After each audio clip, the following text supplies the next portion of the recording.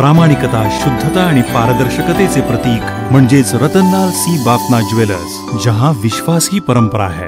बेकायदेशीर गावठी दारू बनवून विक्री करणे यासारख्या अनेक बेकायदेशीर बाबी नेहमी निदर्शनात येत असतात. यावर वेळीच कारवाई करणे तितकेच महत्त्वाचे असते. पोलीस शिपाई अजय कडू यांना त्यांचे गुप्त बातमीदार यांच्याकडून तालुका खेड जिल्हा रत्नागिरी येथील रहिवाशांनी आपसात कट करून बेकायदेशीर गावठी दारू बनवण्याची हातभट्टी सुरू केल्याची तसंच दारूची विक्री करत असल्याची खात्रीशीर बातमी मिळाली. दरम्यान पोलीस निरीक्षक सुवर्णा पत्की यांच्या मार्गदर्शनाखाली बुधवारी प्राप्त बातमीची खात्री करून कारवाई करण्यात आली असून सदर ठिकाणी शोध घेतला असता गावठी दारू निर्मितीचे एकूण तीन लाख तीस हजार तीनशे पन्नास किमतीचा मुद्देमाल मिळून आला. या कारवाईत तीन आरोपी विरुद्ध खेड पोलीस स्टेशन येथे गुन्हा दाखल करण्यात आला असून पोलीस निरीक्षक सुवर्णा पत्की यांच्या मार्गदर्शनात यांच्या सहकाऱ्यांनी चोख कामगिरी बजावली आहे.